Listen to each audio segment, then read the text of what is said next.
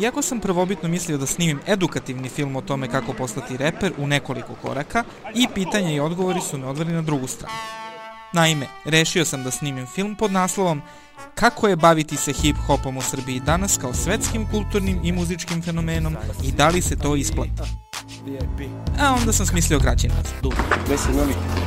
Reperi si čekaju pet minuta slave Tri da troše pare, dva da jebu rave A naših pet minuta nikako da stane. Gore svaka ruka, neka klimaju se glave. Reperi si čekaju pet minuta slave Tri da troše pare, dva da jebu rave A naših pet minuta nikako da stane. Gore svaka ruka, neka klimaju se glave počneš, brate, da, da skupiš pare za neki demo, tripuješ se prvo kao repuješ, repuješ i onda te kad shvatiš da ti treba mnogo keša za studio, brate, onda počneš da radiš nešto da bi došlo do para, do toga jebi. Šta bi, MC nisi čuo mi ni ime, ali zato si čuo Kako dobro bacam rime Šta bi, MC, nismo ista klasa, bacili smo tonu rima Nisam čuo ti ni glasa Ja i Borko smo počeli sale još pre koliko ima, četiri godine, pet godine u stvari kako se zasnovala ideja kao neka grupa THC. Ali to je bilo na kantama i ovaj, uh, plehu smo svirali kao beat i kao re, bacali rime.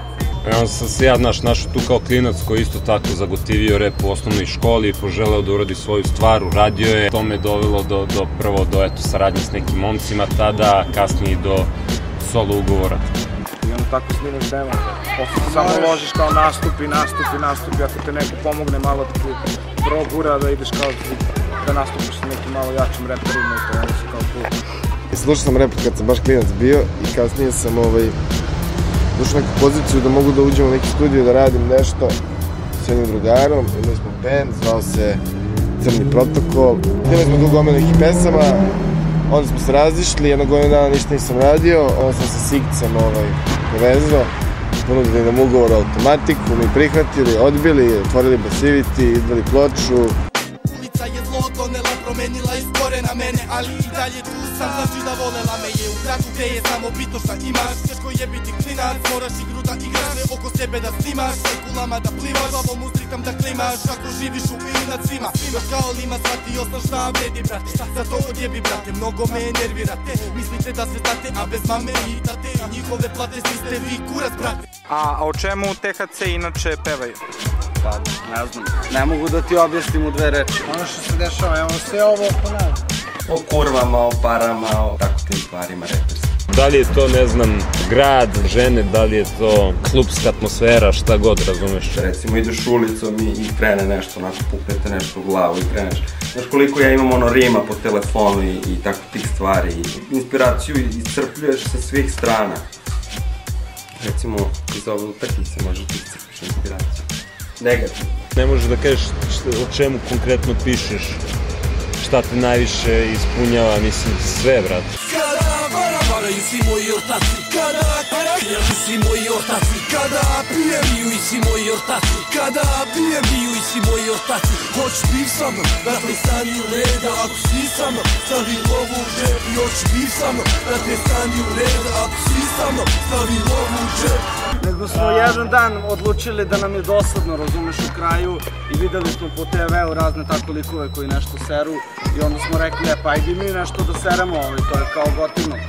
I mi nismo počeli iz fazona, brate, nemam pojma, kao sad mi hoćemo da budemo poznati reperi. Čujete neko, brate, ne pričaš u prazno, ipak neko to čuje do... Ako do jednog čoveka dopre tvoj glas, opet je to, brate, neki kao uspeh.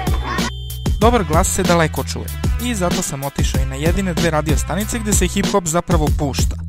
Dobroveče celoj ekipi koja je večeras uz radio B92, eto konačno posle nekog vremena and Sandra ponovo u vazduhu za sve vas, naravno kad je pitanje hip-hop, R&B, soul, breakbeat, demo i sve sve ostalo. Mi smo za sam početak slušali Japu, rap, Stuck in the Pranksta, pre toga bio Charlie Tuna sa Supernatural, prva stvar Big Daddy Kane, Any Type of Way, bla bla bla bla bla bla bla. Zašto hip-hop? Pa eto, jednostavno, znaš, nekako osjećam se, ja se vraćam i drugoj vrsti muzike, znaš, meni nekako stvarno dosadi hip-hop, jer ipak, ja sam znaš žensko koja bukvalno živi hip-hop, radim u hip-hop firmi Basivity Music od 10 do 5 svaki dan. Pišem za Bravo, gde radim repere, ovde radim emisiju, kružuju me reperi svaki dan, bitovi, imam dečka repera. Počeo u martu 2002. Našim prostorima je bilo sve zdano neke oko 20 emisija. Kažemo, škola je emisija koja prati domaću scenu. Čim izađe uh, nečiji album, u toj nedelji uglavnom prvi intervju koji se radi je u školi. Tako da se meni čini da,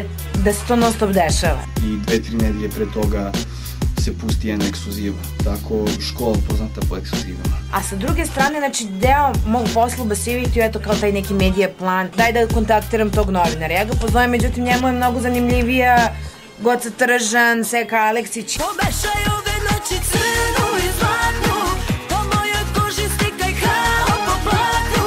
To mediji trebaju donekle da izađu u susret, a s druge strane reperi treba da prave dobru muziku, donekle pitke i primamljive spotove, kako bi sve to izgledalo što bolje, što ukusnije, ne samo za hip-hop masu, već eto kao za moju komšinicu koja izlazi u Van Helsing ili za tamo nekog biznismena koji možda može da sponzoriše te neke repere, za nekog brand menadžera i tako dalje i tako lepše.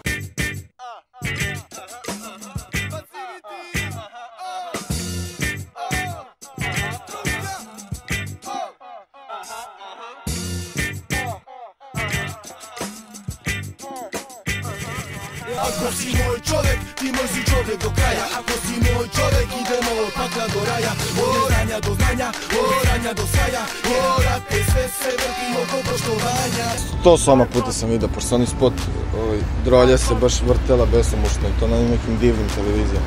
Pa onaj prvi spot, šta BMC, Ja sam ga vidio jedan put samo. Pa znaš kako, neki se više vrte, neki manje. Zavisi imaš one kanale što samo vrti po 40 spotova na dan jedne iste. a ovaj drugi za ulicu Ortake, to su prihvatili zato što razumeš takav je. Znaš, da smo videli sto puta. To soma puta dva.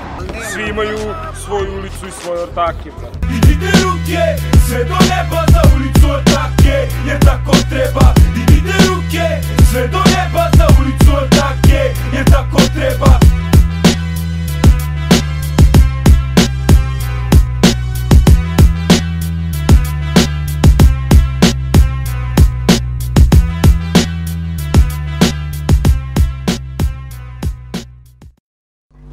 repu producent je lik koji pravi beat. U svim ostalim muzičkim žanovima producent je osoba koji je šef projekta, radi sa kompozitorima, izvođačima, muzičarima, a ono što je producent u ostalim muzičkim žanovima, u repu je izvršni producent. U Srbiji je producent osoba koja ima PC računar sa zvučnom kartom, po mogućstvu Sound Blaster Live, neke zvučnike i svu pamet sveta. Ovaj, nažalost, to ne funkcioniše tako. Pogledaj ovo, pogledaj samo ovo. Ovo, brate, nema svaki rep. Ovaj regler je trebao da se vrati, ali nema veze. Nema za džabe, ali svaki crnac koji se bavi repom bilo gde na svetu. Sigurno ne za džabe i ne zato što lepo izgleda u njegovoj sobi. Dovoljno da imaš jednu ovakvu malu genijalnu klavijaturu i na nju možeš da ubaciš razno razne hitove, kikove i tako dalje, ošte ti ne treba MPC. Pa ja sam još u srednjoj školi toko klinac imao kompjuter i da pravim bitove. Onda su ti bitovi bili jezivo smešni, pa se sa kompjuterima desio veliki onako revolucija gde su performanse kompjutera takve da može svako na bilo kom kompjuteru da uzme otvori SID, otvori hiljadu kanala i secka ih. Tu se naravno desio veliki upgrade u performansi celoj produkcijskoj. Koji bi fazon želeo? Pa može nešto kao Candy Shop? Welcome to the candy shop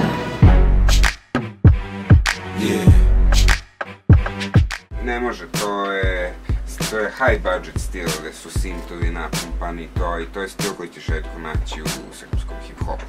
Ja sam tad se ne mogu to napraviti u ovom. Ali možda biš jedan klasičan ono hip-hop.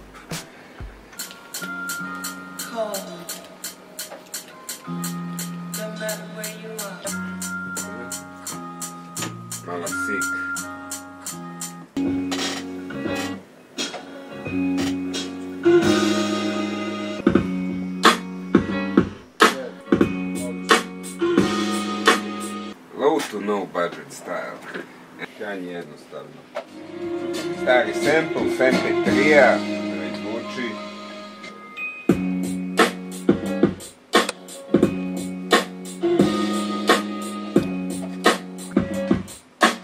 A ovako se pravi bit na MPC-u, jedinom pravom alatu crnih producenata.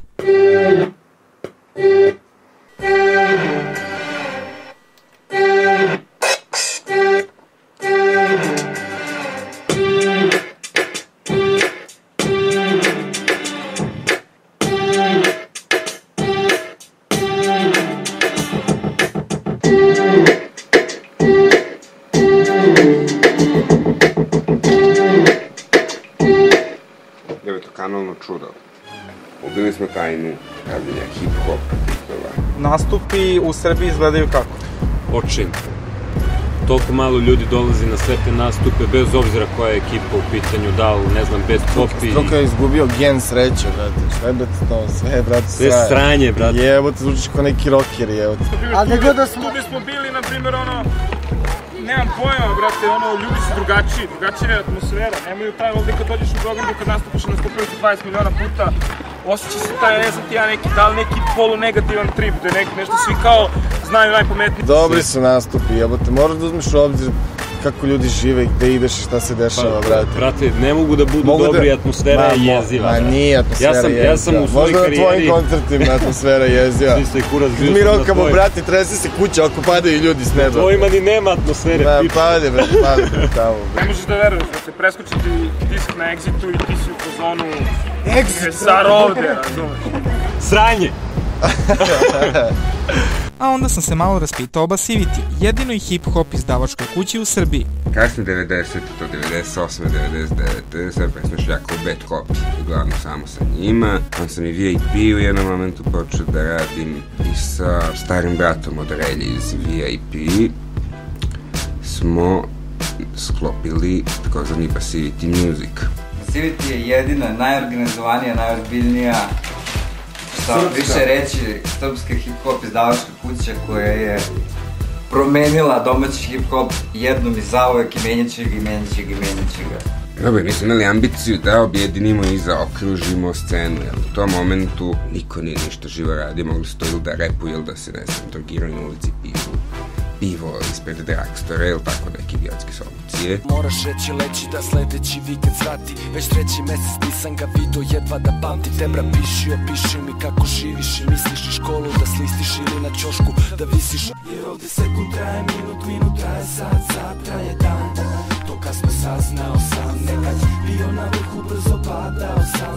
Izgubio sam toku svrhu saznao sam sam. Poslovni ljudi imaju užasno bitnu ulogu u svemu tome, ali ne obični poslovni ljudi, već poslovni ljudi koji imaju stila i koji poznaju suštinu, a verujem da je to ključna razlika koju Facility Music ima u odnosu na drugi zavačke kuće koje god muzikom da se bave i šta god izdaju, a isto tako prednost imaju naši izvođači u odnosu na sve ostale lepe izvođače u zemlji, jer iza sebe imaju poslovne ljude Ima i super moment, to kao Artaci vodi izdavačku kuću. Jel, izdavati u Srbiji drugim uslovima bilo bi besmisleno. Izdavačku kuću održavaju izvođači tako što prave dobru muziku, Naravno, mi ne ilazimo na svakakve stvari, da ti ne pričam da mi nedeljno stigne, da nam stigne nedeljno do desetak demo snimaka, naravno, potrudimo se da preslušamo sve, izađemo u susret tako što ih ja pozovem, kažem, e, ok, ovo je dobro ili nije dobro. Ljudi su izlazili u susret, to je dobro.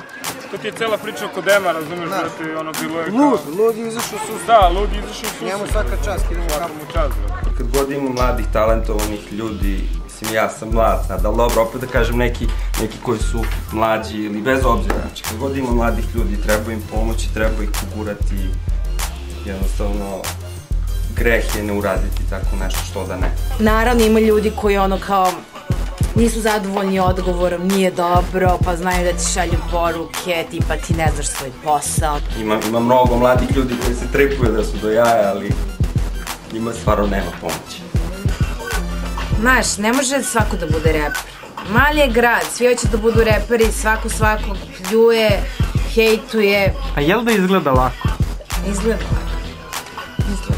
Mislim da smo dosta toga uradili. Mislim da danas zaista svako ko vidi ono B zna o čemu se radi, kupuje to što to B donosi. Na nivou hobija i kad imaš dosta entuzijazma, to je vrlo, vrlo isplativo. Ako hoćeš nešto sad tu neku materijalnu sigurnost i bezbednost da stekneš time što ćeš da imaš bilo kakve veze sa muzičkom industrijom, a onda u okviru toga i sa hip-hopom, plašim se da to ne ostvarivo i da to ne može tek tako da se izvede. Profitabilno ni ovoliko, brate.